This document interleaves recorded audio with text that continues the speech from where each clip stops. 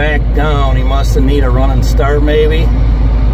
Or he got on a tippy spot. Let's see if she's got the power to get that thing uphill in the soft ground.